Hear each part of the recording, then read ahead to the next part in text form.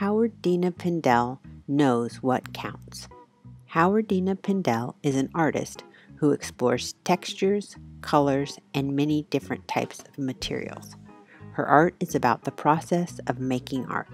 She builds up, then takes apart, and then rebuilds her work.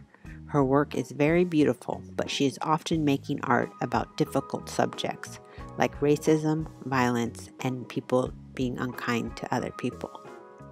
When she was a young woman, she worked for important museums and galleries in New York City.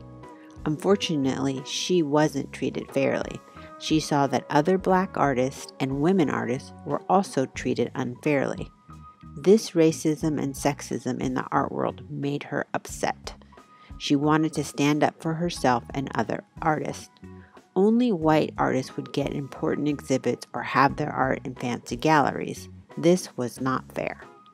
She formed groups with other artists, with women and other people of color to protest. While she worked in museums during the day, she made her own artwork at night. She didn't have a lot of money for art supplies, so she saved things from the office. She started collecting all the tiny paper circles that came from hole punchers Pindell first used hole punch circles by counting and numbering each tiny one, then placing them over a grid.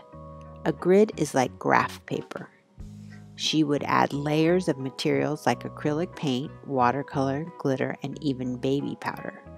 Her inspiration for numbers and grids came from her father, who was a mathematician, and he often wrote down numbers in a gridded journal. Howardena wasn't good at math, but she loved drawing numbers. She felt that they were works of art. She would put the numbers on tiny circles and then put them in rows, and sometimes she would draw numbers on top of photographs. Howardena was in a terrible car accident. Her brain was injured, and it made her have bad headaches and sometimes changed her personality from nice to angry. She didn't have any control. She also lost a lot of her memories. So she started making art on postcards from her travels to help her remember. She made a lot of art about her own identity. Her family history includes African American, European, Seminole, Central American, Afro Caribbean, and Jewish roots. Making art about her identity and working with other artists to fight against racism helped Howardena deal with hard things she experienced. After a while, she stopped working in museums and started teaching art at a university in New York City. She still teaches there today. This way, she can teach her students about the importance of diverse artists. She still makes work using paper circles and numbers. She uses the grid, but she has changed it over the years.